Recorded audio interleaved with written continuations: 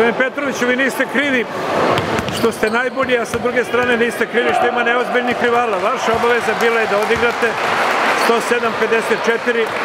Mi smo se radovali svakom košu Borka Đorđevića, to je bilo najzanimljivije e, u drugom polovremenu. Pa dobro je, tako ima neke koristi, onda to to. Od ovakve utakmice,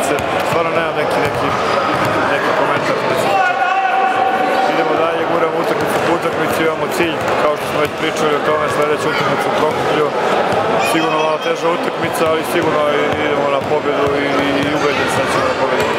Sinoć sam dobio predivnu informaciju od vas da je Rtanj u Boljevcu savladao ekipu Knjaževca.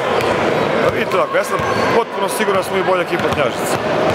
Ali je mnogo, mnogo lakše otići tamo kada imperativ ne, ne postoji. Do Knjažica ima još tri, još, još dve utakmice i njih treba dobiti, ali sigurno znači nam, znači nam to što imamo sad već dve pobjede više od njih.